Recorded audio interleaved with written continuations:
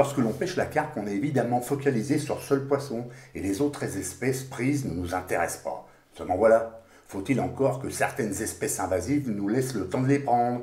J'ai pêché de nombreux endroits où un appât ne tient pas 30 minutes au fond de l'eau. Et c'est très problématique, car dans la plupart des cas, les carpes mettent bien plus longtemps à se décider. Je sais que vous avez à l'esprit, bah faut pêcher avec des noix tigrées. Ouais, c'est une pensée tout à fait logique, puisque cette graine est assez dure. Sauf que dans certains plans d'eau, elles ne font que retarder l'échéance, mais finissent aussi par capituler. Car lorsqu'il n'y a que des poissons-chats, ça peut le faire, mais pour ce qui est des écrevisses, peu de choses résistent à leurs outils naturels. Et puis il y a des graines qui ne sont pas très appréciées par ces indésirables. Ok, je sais. Mais là, je veux pêcher à la bouillette, et uniquement à cela. Car il faut aussi se dire une chose, c'est que dans ce genre de lieu, les carpes ne consomment que très peu ces appâts, le ménage ayant été fait avant qu'elles arrivent sur le poste.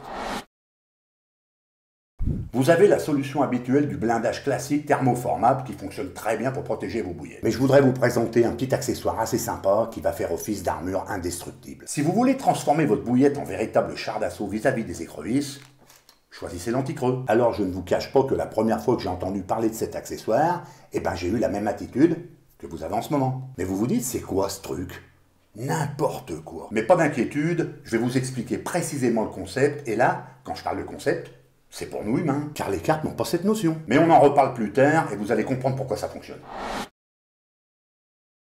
Donc, il s'agit d'une capsule avec une structure alvéolée qui permet d'envelopper votre bouillette. Elle est disponible en deux tailles, 15 et 20 mm. Son système de fermeture est à pas de vis.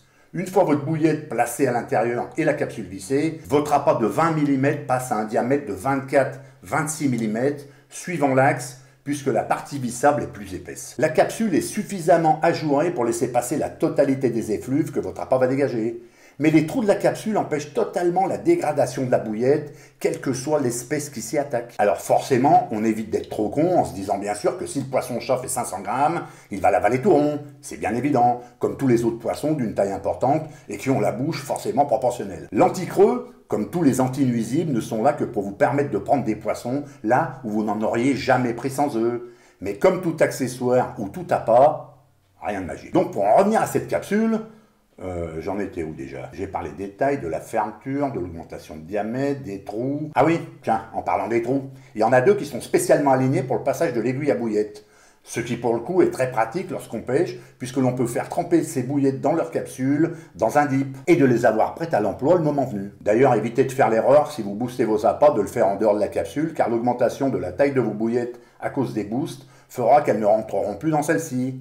Gaffe à ça. Les capsules sont ajustées au millimètre, alors que les bouillettes changent de taille en fonction de leur taux d'humidité. La forme des trous de la capsule permet aussi de placer de la pâte d'enrobage qui tiendra impeccablement sur la pâte. Elles sont dispo en quatre couleurs, transparent, blanc, jaune, rose, que vous pouvez d'ailleurs mixer si vous êtes un adepte des bouillettes bicolores. Il faut aussi préciser que la capsule est ultra légère et permet de l'adapter à tous les types de présentation, dense, flottante, équilibré ou en bonhomme de neige. Perso, la flottaison de mes pop-up n'est pas du tout perturbée, même avec une capsule. Et puis une chose non négligeable aussi, c'est que les capsules anti-creux n'ont besoin d'aucun autre matériel supplémentaire pour être utilisées en action de pêche. Dernière chose, vous pouvez aussi directement adapter l'anti-creux à votre montage et vous servir de la capsule pour y mettre autre chose que des bouillettes. Imaginez-vous en train de pêcher avec un pellet qui diffuse à donf et que les chats et écrevisses ne peuvent pas attraper. Style de pêche impossible à faire sans cet accessoire. Bon, ça marche aussi avec d'autres appâts, hein. du fromage, de la chair de crevette ou des crevisses, etc. Alors attention pour cette présentation de matériel, j'ai des pochettes qui m'ont été gentiment envoyées à ma demande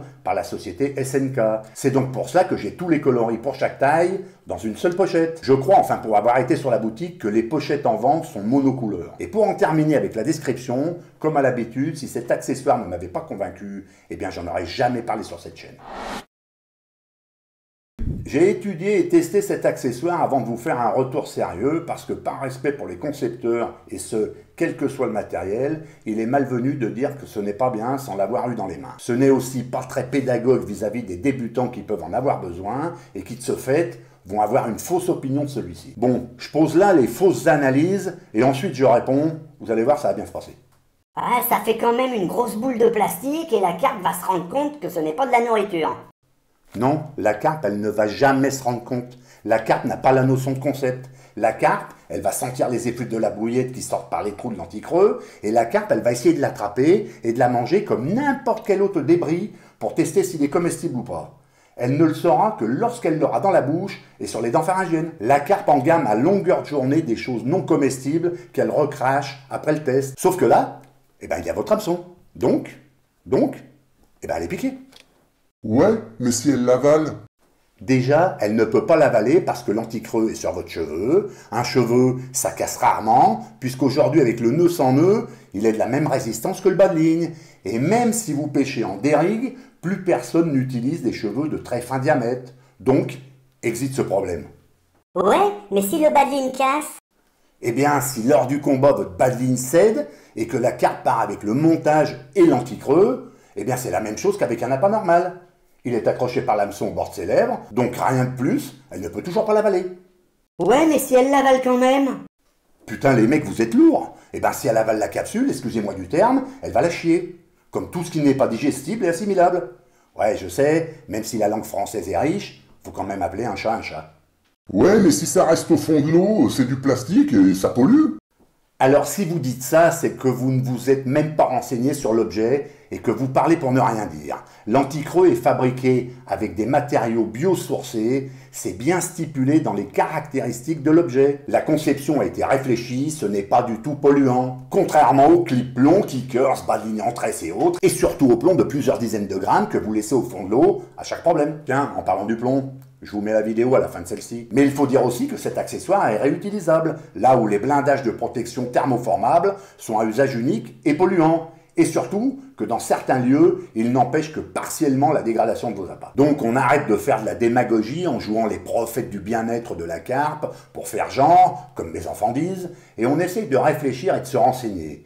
L'anticreux va vous permettre de ne pas pêcher à la goutte d'eau, pour imaginer le fait que vous n'avez plus rien sur votre cheveu, et cela va vous aider à la prendre, cette putain de grosse carpe, quand la pêche est galère à cause des indésirables. Mais je voudrais revenir sur le thème biosourcé des matériaux qui composent cet accessoire. Cela ressemble à du plastique, mais ce n'en est pas. La matière biosourcée est le plus souvent d'origine végétale, donc complètement naturelle. Elle est fabriquée à base de matière organique biologique et totalement éco-responsable. Donc on se détend, on respire très fort, ça sent naturel. Hein bon, chez moi ça sent plutôt les lasagnes, ma femme est en cuisine. De plus, pour que tous les pêcheurs comprennent bien les mots qu'ils utilisent, biodégradable ne veut pas dire que l'on peut les jeter forcément dans la nature. Chaque matériau biodégradable ne se dégrade pas dans le même environnement et les mêmes conditions. Pour certains, ce sera naturel seulement avec de l'eau et de l'air, et pour d'autres, ce ne sera qu'avec un processus industriel. Donc, on pense à ramener la totalité de ces poubelles à la maison. Ouais, je sais, ça n'a rien à voir avec le sujet, mais une petite piqûre de rappel, ça fait toujours du bien. En conclusion, je ne veux pas vous obliger à en avoir à tout prix dans votre trousse de pêche, surtout si vous ne pêchez que des endroits où ce problème n'existe pas. Mais pour tous les autres, je vous incite à passer la barrière de la réticence, aucunement justifiée d'ailleurs. J'avais autrefois quelques a priori sur tous les appâts artificiels et il y a longtemps qu'ils se sont évaporés, vu le nombre de prises que j'ai pu faire avec. Donc, avec l'anti-creux, pas de souci pour moi, puisque ça fonctionne à merveille. Je vous le redis juste avant de finir cette vidéo, la carte n'a aucune notion de concept. Elle ne sait pas qu'une bouillette est une bouillette, donc il en va de même pour tout le reste. Et une dernière chose pour les mots du bulbe qui diront « Ouais, ben j'en ai acheté et j'ai rien pris, c'est de la merde ». Juste un truc, si ce que vous mettez à un bout de la canne ne fonctionne pas, ben regardez à l'autre bout. C'est peut-être de là que vient le problème. Bon, sur ces dernières paroles avec lesquelles je vais me faire encore quelques amis supplémentaires, je vous laisse méditer. Je vous mets le lien direct pour vous procurer cet accessoire juste en dessous de la vidéo. Je vous souhaite beaucoup de plaisir au bord de l'eau et je reviens très vite avec d'autres vues matos qui devraient vous plaire. Restez connectés.